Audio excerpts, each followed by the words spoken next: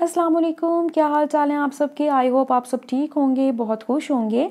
तो जैसा कि आप लोग देख रहे हैं, मैंने यूनिवर्सिटी की एक वेबसाइट ओपन की हुई है।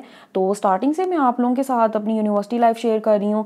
तो ड्यू टू कोरोना यूनिवर्सिटी के जो सिस्टम है, उसमें बहुत सारी अपडेट्स आ गई हैं, बहुत ज़्यादा अपडेट हो गया। तो मैंने सोचा क्यों ना अपने कंटेंट को थोड़ा सा चेंज किया जाए और आप लोगों के लिए इन्फॉर्मेशनल कंटेंट लाया जाए।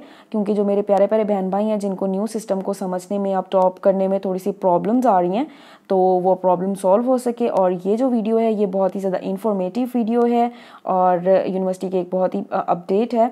बड़ी अपडेट है तो मैं आप लोगों के साथ शेयर कर हूँ। सो लेट स्टार्ट वो वीडियो जैसा कि आप लोग देख रहे हैं welcome to the I U B E portal testing service apply for entry test admissions hostels careers online test generate online challan my watches I U B and short courses ये एक ऐसा इंटरफेस है और सबसे ऊपर आप लोग देख रहे हैं कि वेबसाइट को ओपन करने के लिए आप लोगों को इस तरह E portal dot I U B dot E D U dot P K ये वेबसाइट है, इसको आपने लॉगिन करना है तो इस तरह का आपके सामने एक इंटरफेस ओपन हो जाएगा, जिसमें ये बहुत सारी चीज़ें हैं, जिस तरह आप कुछ भी इसको कर सकते हैं।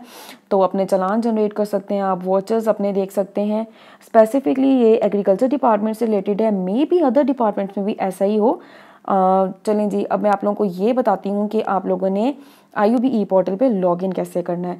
तो लॉगिन करने के लिए ये देखें login to I U B E portal यहाँ पे आपने अपना C N I C B form password जो भी आपको हो, आप मतलब सूटेबल हो तो आप वो यहाँ पे अपना लिखेंगे और उसके बाद पासवर्ड तो बेसिकली पहले आपको लॉगिन करने के लिए अपने आप को रजिस्टर करना पड़ेगा तो आप जब रजिस्टर हेयर पे क्लिक करेंगे तो आपके पास एक ऐसा इंटरफेस ओपन हो जाएगा। यहाँ पे आपने अपना डाटा फिल करना है और ध्यान रहे कि आपने जो भी इन्फॉर्मेशन देनी है वो एक्यूरेट होनी चाहिए। कोई मिस्टेक नहीं करनी है आपने। जब आप यहाँ पे सारा कुछ एक्यूरेटली फिल कर देंगे तो आपने रजिस्टर नाव पे क्लिक करना है। जब आप रजिस्टर नाव पे क्लिक कर देंगे तो आपके पास एक ऐसा इंटरफेस ओपन हो जाएगा और यहाँ पे आपने फिर अपना आईडी कार्ड नंबर डाल देना है और अपना पासवर्ड डाल डाल देना और उसके बाद आपने इसको लॉगिन कर देना जब लॉगिन कर देंगे तो आपके पास इस तरह से यूनिवर्सिटी की ये वेबसाइट ओपन हो जाएगी।